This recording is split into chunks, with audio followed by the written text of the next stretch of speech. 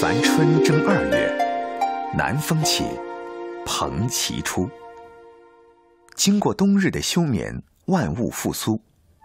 这种同样生长在泥土里的鲜活食材，正准备赶赴春日里的一年一会。每天，广州番禺石楼镇的村民陈伟雄，都会到河岸上看看蓬旗的生长情况。蓬旗出了，过一个礼拜就有蓬旗春食了。粤语中。春指的是各色鱼虾螃蟹的卵，其中最经典的当属李云子。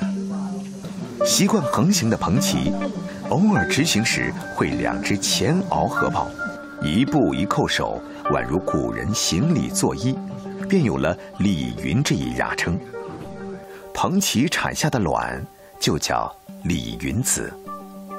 李云子季节性极强。只在清明前半个月出现，十分金贵。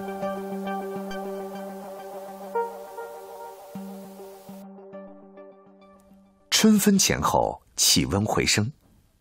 经过一个星期的守候，蓬旗产卵的最佳时期到了。下午，潮水退去，蓬旗出来溜达。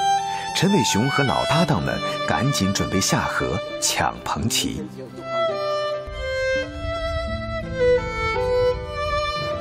拇指般大小的彭旗，捕捉起来费心费时，出手的速度要大大超过彭旗逃窜的速度。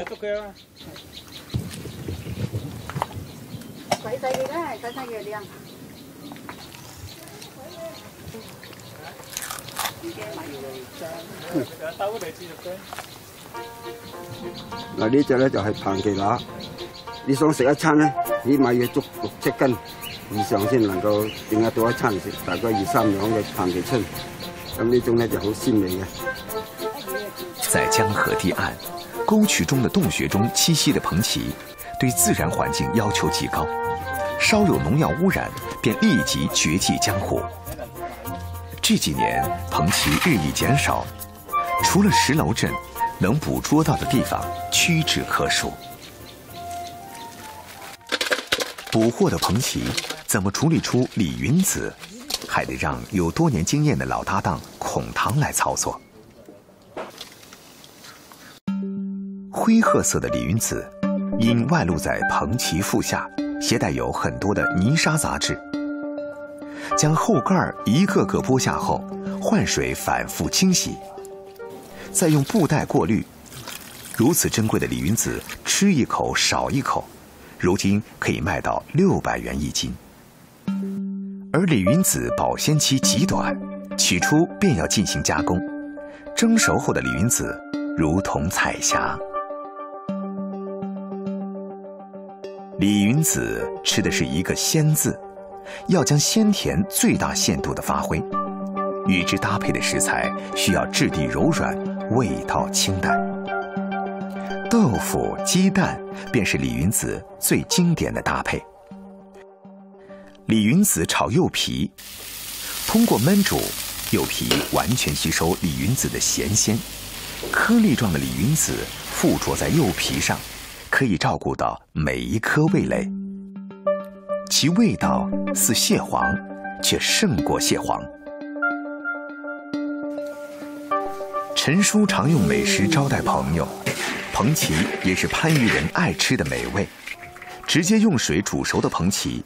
用最纯粹的鲜味唤醒沉睡一冬的味蕾，以食物来传情达意，是中国人运用的最忍熟的沟通方式。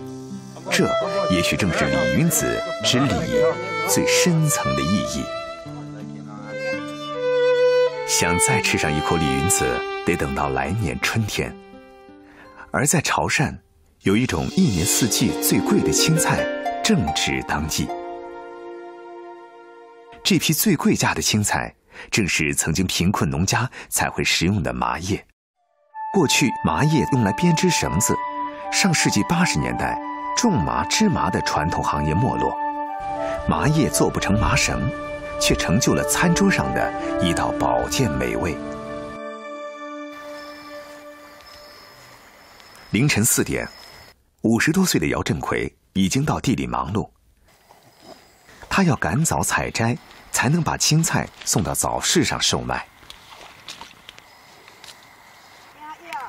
春耕夏采，二十多年来已经成为姚振奎生活中的习惯。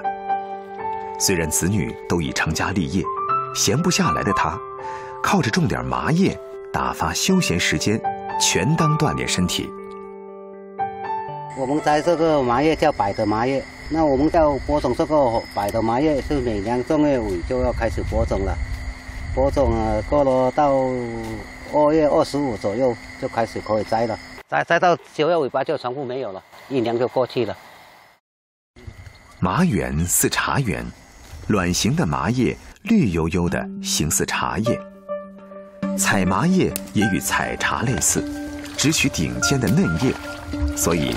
这种黄麻永远也长不大。现在摘了，下午来下回，过了七天八天就就它它浓浓的就可以再摘了。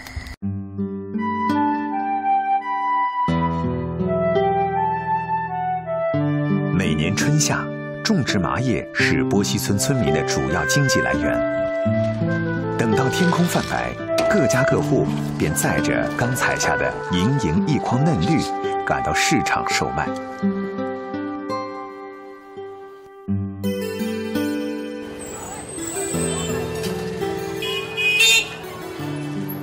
因为具有清热解毒的功效，麻叶成了春夏两季潮汕人餐桌上的必备菜肴。每年铜茶甜麻叶登场时，每斤可以卖到近二十元。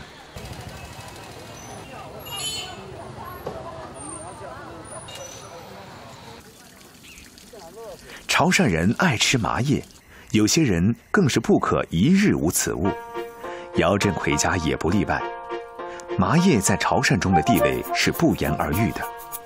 在外地，一间潮菜馆有没有麻叶，甚至可以成为出品是否地道的标准。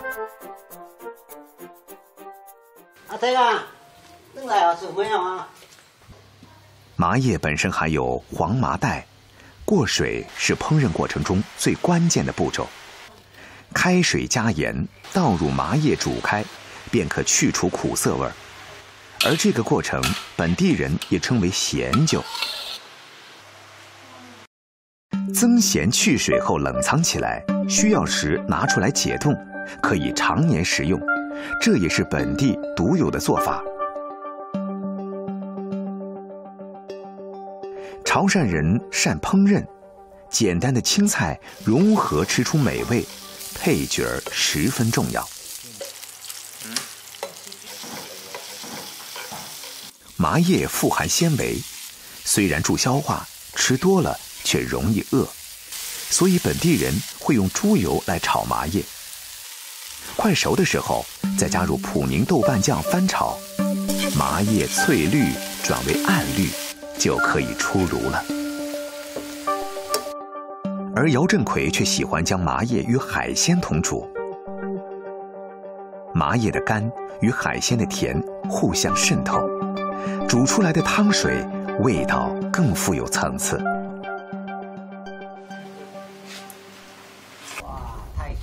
忙碌了一天，对姚振奎来说，最惬意的是坐下来和家人吃一顿家常饭。麻叶有点咸，送粥再合适不过。闻闻略带有青涩的麻叶芳香，一口白粥，一口麻叶，细嚼慢咽，心里无比踏实。夏至一过，地处北回归线上的汕头南澳岛进入盛夏，一种当地特有的消暑佳品开始在街头大量出现。每天上午，何桂荣都会推着海石花到菜市场开始一天的售卖。哦。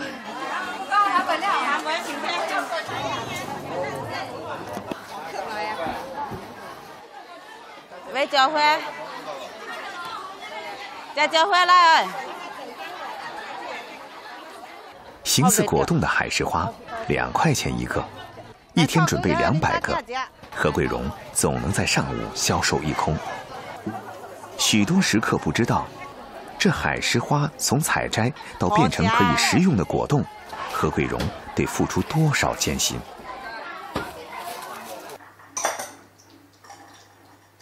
来，出海了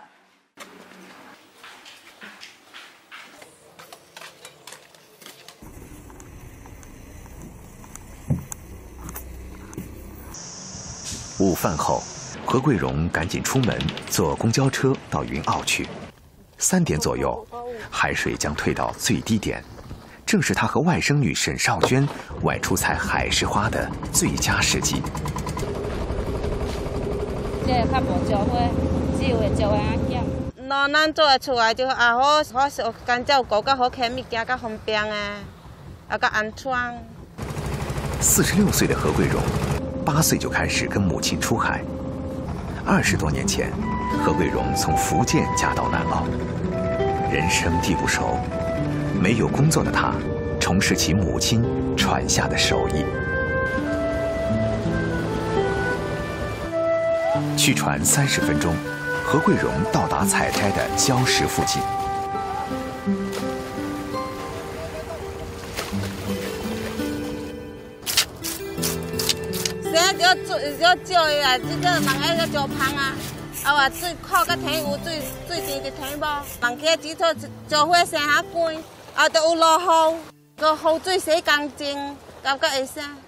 海石花又名石花菜，是海藻的一种，喜欢生长在水质清净、盐度较高的海域，像盛开的海底岩石上的花朵。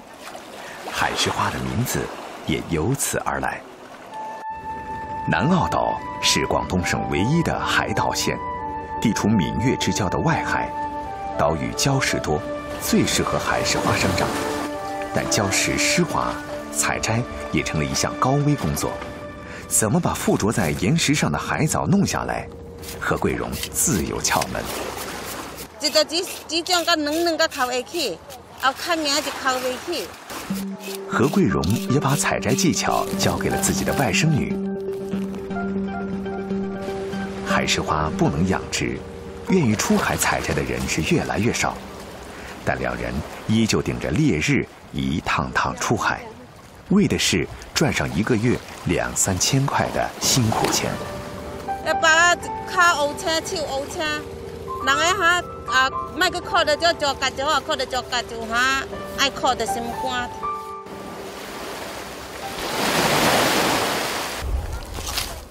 最近没靠诶。靠过米家最最靠靠过米。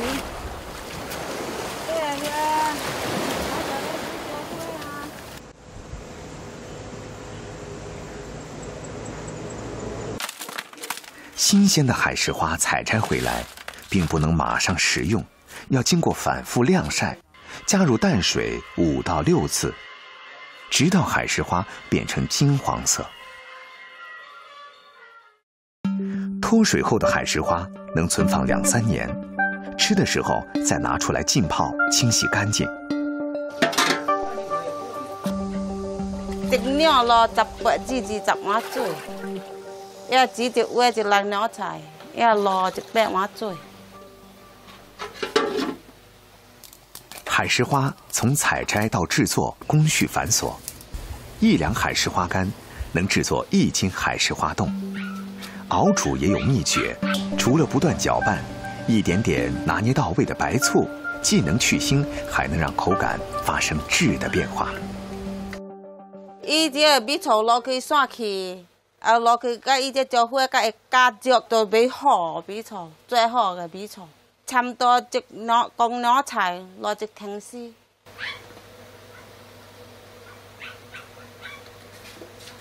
煮溶成胶需要三个小时。海石花熬制出来的清汤，用纱布滤渣后装进一个个碗里。经过几个小时的冷却，自然凝固后形成啫喱状。这时候的石花干摇身一变，成了一个个晶莹的果冻，透亮清澈，富有弹性。为了让口味更丰富，何桂荣买来水果加入其中。自创的水果海石花总能吸引小朋友。本地人最深藏记忆的吃法，是用小工具抽成一条条粉丝后，加上糖水，一碗清热解暑又富含胶原蛋白的海石花就做成了。伴着海水的味道，犹如夏日凉风。哇！在尚未有空调的年代，一碗海石花便是沿海人天然的果冻布丁，能带走一天的燥热。